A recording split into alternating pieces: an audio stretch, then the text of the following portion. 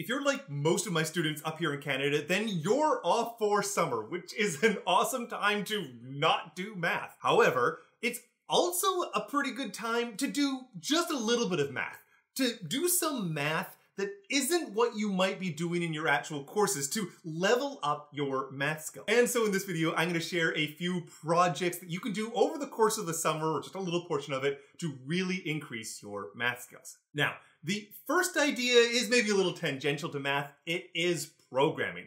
I want you to become an excellent programmer because in mathematics, we use programming all the time, both in the actual mathematics and in many applications.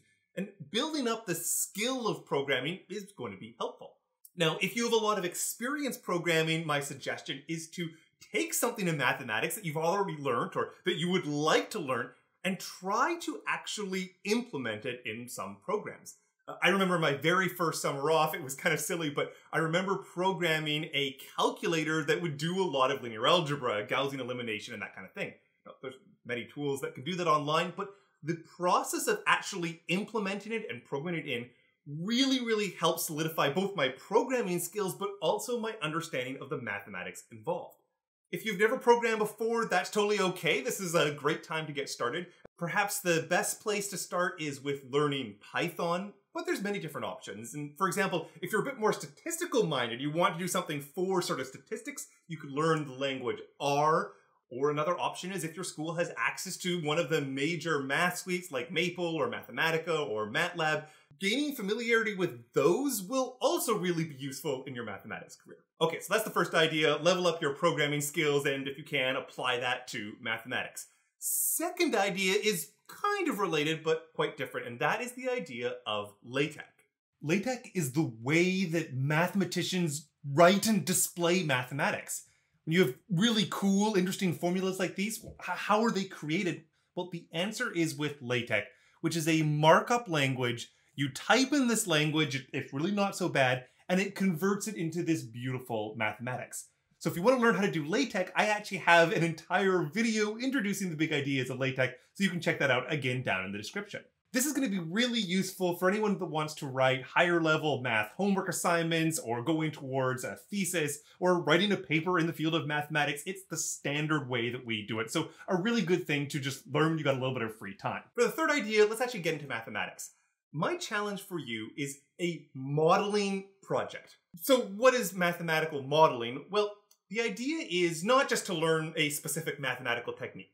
It's to take an actual problem, something in the real world, something you find interesting. It could be just something in your general life around you, like traffic or queues at coffee shops. It can really be anything. But to try and model that mathematically. Modeling means describing what your assumptions are and defining the problem and coming up with appropriate mathematics for it. And really the reason for this is that we're often in classes go sort of backwards. I tell you a technique and then maybe I give you an application. What I want you to do over the summer is to find some application in the real world that you think is interesting and go in reverse. Think about what mathematics might be relevant for that problem. Be focused on the problem first, that is, and not on the mathematics. The mathematics is going to come later. And this mathematical modeling approach is really good, particularly if you have any interest in going into applied mathematics or any field that might apply mathematics in it. Mathematical modeling projects can be about just about anything. There's so many cool different ideas. And if you have one, I'd encourage you to leave a comment about that and let us all know what you're working on. All right, fourth idea, I want you to learn a new math subject that you haven't been taught in your classes. And there's many different subjects here. A couple ideas. Uh, first, if you don't have a lot of experience with proofs, for example, if you've taken lots of calculus courses, you might not yet have had a course that takes proofs. I think learning how to prove things is an incredibly important foundation in mathematics. I have one playlist, you can check that out down in the description, which is an introduction to discrete math, which is sort of the logic and foundations and ways to prove in mathematics. My second suggestion for you, which is a really cool one that anyone can do at pretty much any level of mathematical sophistication, is game theory. This is not taught enough in university courses. It's such a cool field with so many different applications. And I'm actually going to be coming out with a series on game theory over this summer. So you can subscribe if you want to check out that one. This is going to sound like all plugs, but the third one actually isn't.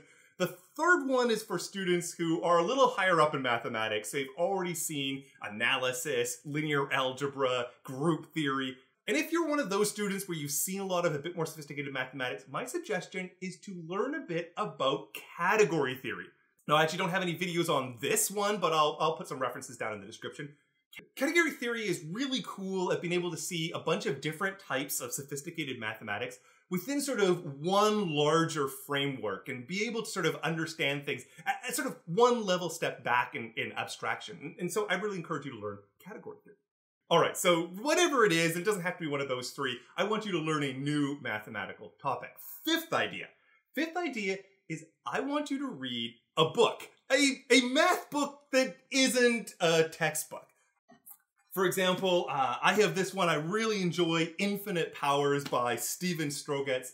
This was one I found that really opened my mind to new ways of thinking specifically about calculus. And if you're a calculus student or a calculus teacher or someone who might take calculus, anyone who has any relation to calculus, I'd suggest that book, and I'll put some more down in the description. The idea here is that we should be able to enjoy and read mathematics and so having the experience of reading a book that isn't just trying to teach us high level mathematics, it's just trying to tell us an interesting story that inspires and motivates us, I think that's a really important thing to do. The next project I have for you is to read some actual published math papers. That is, you might often have been reading math textbooks that your instructors provided for you, and those are great for learning subjects. But it's really nice to develop the skill of being able to read actual math papers. The standard location for this is the arXiv or arxiv.org, and this is where people will publish their actual papers. This is not its sort of final product like after it's being peer reviewed and put into a specific journal, but nevertheless, this is where you can find an enormous amount of mathematical papers. So you can come to the search bar and just search for any topics that you might be interested in. So, for example, one that I saw just the other day that I thought was kind of cool, I'm going to type in coupled contagion. I'm going to come down here and click the PDF for this article. And, and what do you get? You get a math paper. This is a, a genuine piece of mathematics that people are trying to present. It's a kind of a cool idea that you have if you sort of skim down. It's all about the idea of there being a pandemic like we're in right now, but as well as the fear of the pandemic, there's fear of vaccines that exist in the population and the relationship between the fear of the pandemic and the fear of the vaccines and, and how you can go and shake it out. And anyways, you could go and check out, if you so wished, this one particular paper that's sort of exploring some of the mathematics of that particular relationship. But, but you don't need to choose this one. You just choose anything that you might be interested in because the real goal is to develop the skill of reading mathematical papers. And my final idea here is to make a math YouTube video. I know personally that I have learned so much about mathematics from making math videos. The whole process of learning a subject deeply enough that I can make an interesting and compelling story that explains things well, that keeps people interested uh, this really changes my perspective on mathematics. And so I would encourage you to take your hand at making a math video. On that vein, I'll put down in the description a link to a Discord, which is run by 3Blue1Brown, and amazing and probably the largest of the math YouTubers. And he's got a summer of math exposition. So if you want to be part of a community of people who are working on making math videos and being able to expose math in different ways, then you can check out that as well. That should be plenty for everyone to do over the course of the summer. Alright, if you enjoyed this video, please do give it a like for the YouTube algorithm. If you have any thoughts or questions or cool ideas of your own, leave them down in the comments below, and we'll do some more math in the next video.